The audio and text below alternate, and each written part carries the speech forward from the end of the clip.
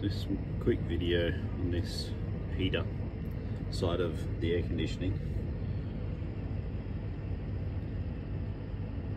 This is the original unit that's in it. Um, I had it running the other night. I've only just turned it on now. It says it's 20 degrees outside. I could only get the heater, even though it was on 30 or set to go to 30, would only go the maximum I could get temperature inside, and that was with one of these King's fridge gauges, gives you an inside temperature. Um, maximum I could get it to was 20, 22, pretty much. And the, the actual unit was set at 30. So, just gonna do a, a video in comparison because I'm going to put a diesel heater in there. And I'm curious on how much louder it's going to be too.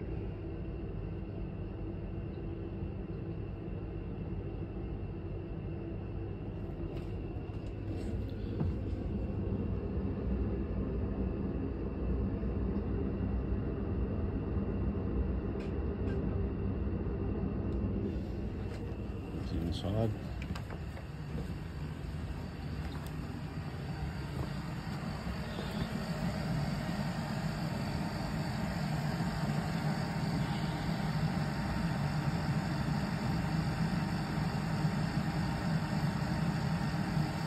It's.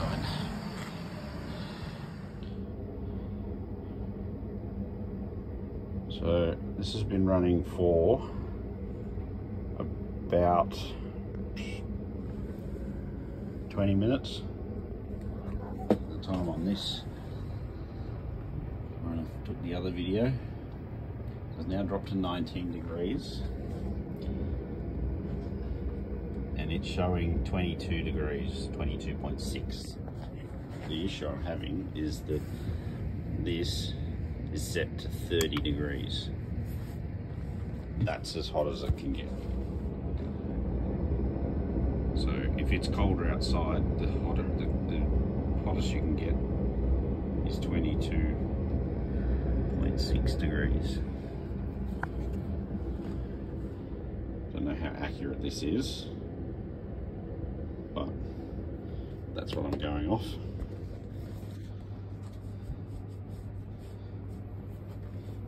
So we'll see what happens when I get a the diesel heater installed. So today we're going to put this diesel heater in. We're going to take out the air conditioning and I'm going to use um, the existing duct line. Um, I'm going to alter it slightly. So we won't have as many pipes going around. And I'll use the same spot to put the control panel for the diesel heater. And hopefully I won't have to make any more holes in the cupboard and whatever. And then there's three holes underneath. And we're going to patch them up and hopefully utilize one of them for the actual heating element or the, the exhaust and to exit the van the camper alright so I'm going to pull this out to start with and go from there. Okay, it's removed. It was a bit more work than I expected. Um, I had to pull the bed off, the, the mattress.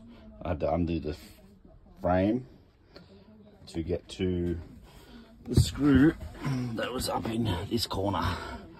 So there's screws on each corner um, to hold the base on these uh, middle straps uh, obviously got a bracket in between to hold the unit to the floor as well so you don't have to um, or you can't undo it because it sits over the top of them um, but yeah, I couldn't get in there. Maybe if you move the battery out of the road, um, you could get your hand in there to undo it.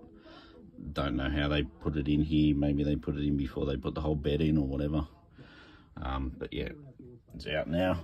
Um, unwired the control panel. It does unclip from the back corner where the power goes in. Um, just uh, it pulls out. I didn't know that. I actually unconnected the, the from the display panel, which was just a push-in plug anyway. Um, you had to undo the circuit board, but that wasn't any big drama. Um, and then you just unfeed it, undo the clips and stuff, and feed it back under the floor. Um, it is heavier on this end, um, which is probably what the where the air condenser and so forth is for the um, air conditioning. But um, I put all the bed frames screwed it back together again because I don't think I'll have to um, have it out. It's probably easy to work, but I can't get it. I wasn't going to try and get it out the door. Um, I had to pull the, the foam cover off. That was why I had to take the bed frame off um, to move it out of the road so I could get to the screw properly. So, I mean, if you had a heads up, you go, yep, just pull the mattress off, bed frame off, take the box off because that corner of the piece of wood for the bed frame is in the road. But that's it there. So that's your connection for your control panel. And there is a push clip, but it seemed to pull out all right, so you can get your hand in there to undo that. Um, but I don't think that will fit underneath the framing of the bed. So this one in here was a lot smaller and it slipped under a lot easier.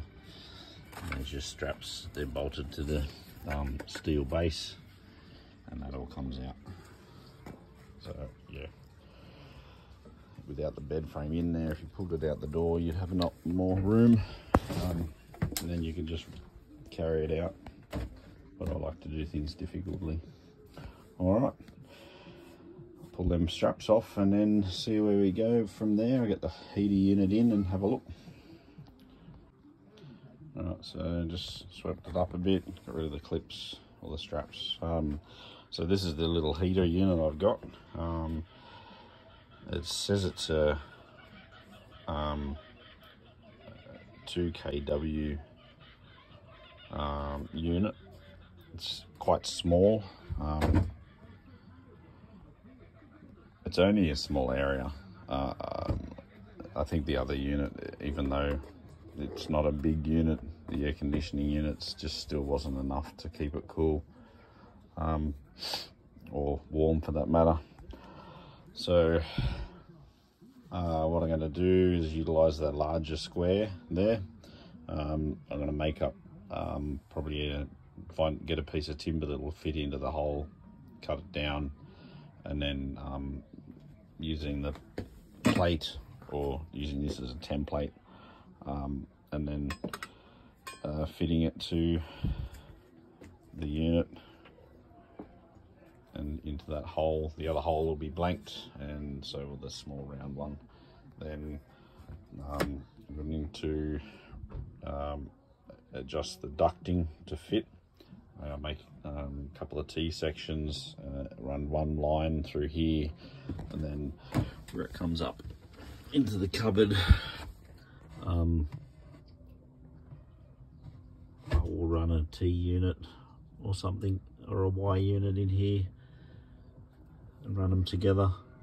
So basically, because it's the heater unit only has the, the one outlet, um, it'll split it there and then split it on the side, which should work.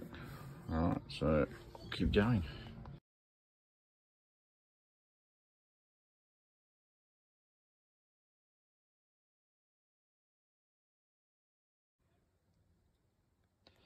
Okay, this is uh, the little heater all done. So that replaced the whole air conditioning in that area. Um, put this board in just to stop anything rolling back, being hard to get to. Yes, it does shorten that. Um, so that goes to the edge of the slide basically. So um, yeah, we only use this area for drinks and stuff like that. Um, yeah, uh, all the original ducting, I've shortened it somewhat. Um, I had to modify that bit from what I had originally. That was fine. Uh, I had to make this up, but you can buy them with a, a T section. Um, looks similar anyway. Um, and then they all fit into the factory fittings and factory outlets. And then in the cupboard, had to make up another T-piece, slightly different because it's on a corner. And then that feeds the, the one near the bed. And then the other one comes, feeds the one out the front of the cupboard. So, um, what I'm going to do is fire it up um, and then I'll show you outside. The temperature is about 13 degrees. This is inside. Um, the thing's been closed up the door hasn't been left open so but it is cold outside it says 13 outside as well all right so pull the bed down.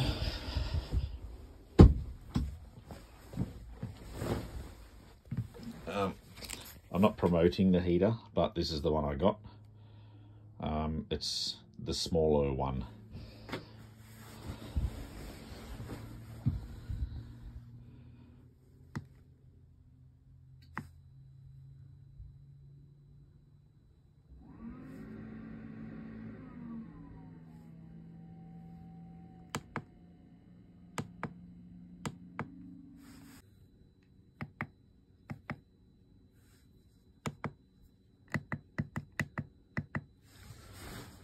To set it to 33 degrees in a comparison to that's what I had the other one set at. The red indicator indicates a glow plug, your pump, fan, and then this will indicate um, your temperature, um, how hot it's getting inside, but it tells you there anyway. It's not the best display because I found it went weird when you touch it. Does come good, fixes itself, but yeah. Everyone complains about the noise of the pump, but if you just listen carefully, once it fills with diesel, I can't really hear it anyway. So until it becomes a problem, I don't need to fix it.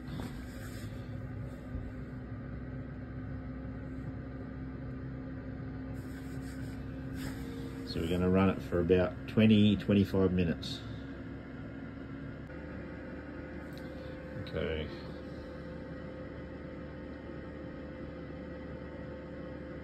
There's your noise reading.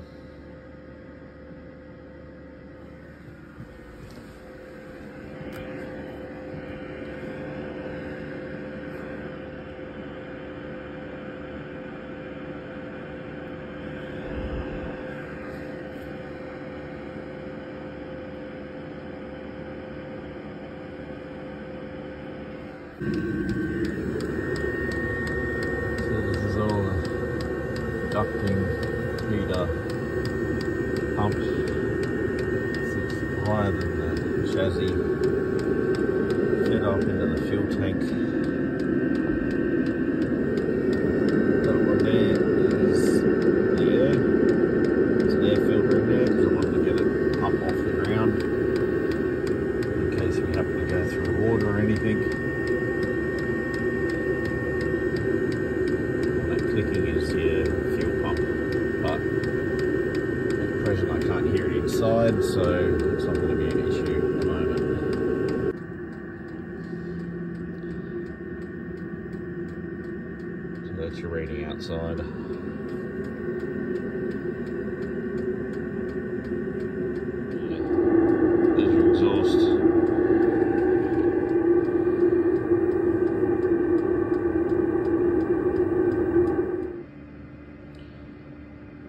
has been running for about 20 minutes.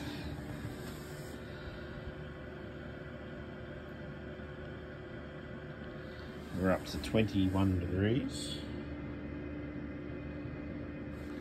It's at full speed.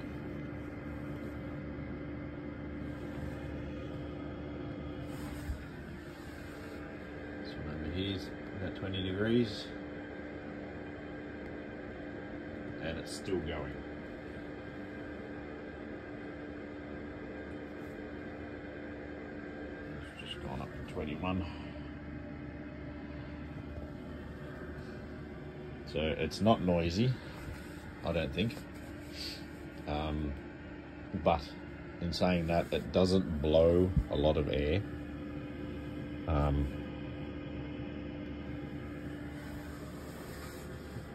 it's not a strong fan on it. It's just enough to push the heat out.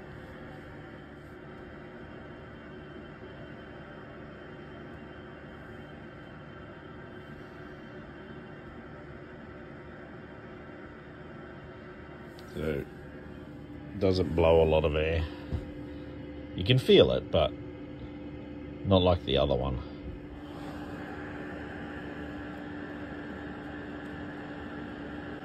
It's as fast as it blows. So um, it will move the air around, like you can see it's it's just moving the curtain a bit.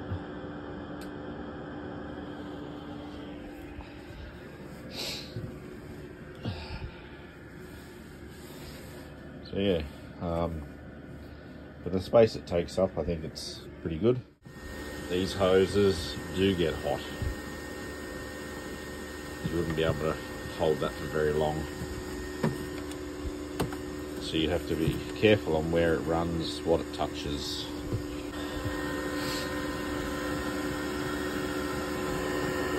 The air's being sucked in from the back. So you can't put it too close to anything. So it's got that room to suck the air through.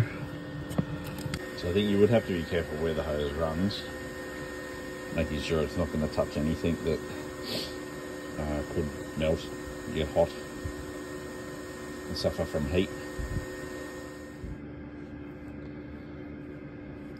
So I've just backed it down to 24 degrees from the 30 that it was on.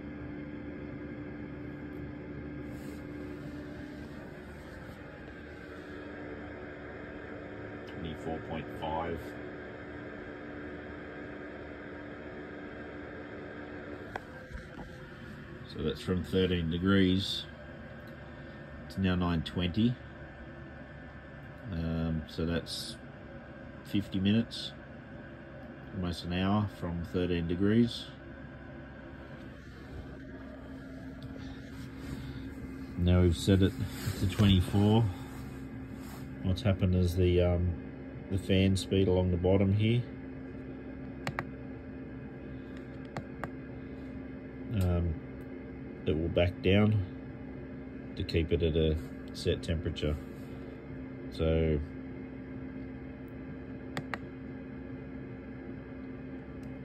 still got that tells you the voltage in the battery system, like of your house battery. And that's your degrees that you've set it to. So now the unit will slow down and idle and maintain that that temperature. So I've heard the, the fans back down. So 50 minutes of this um, up to temperature or up to 24 degrees.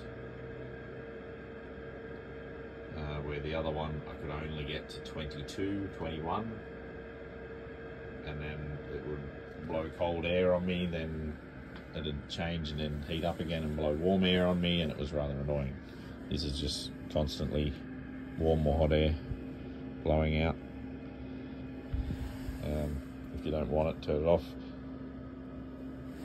Um, as I said, the only thing is it doesn't blow very hard.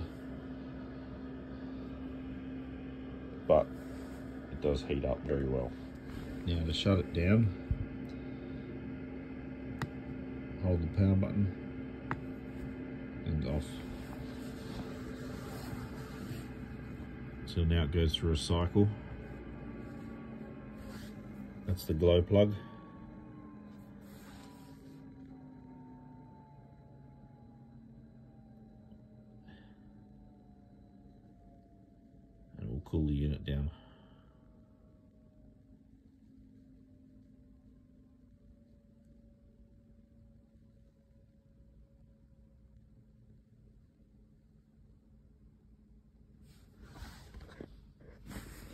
That's it.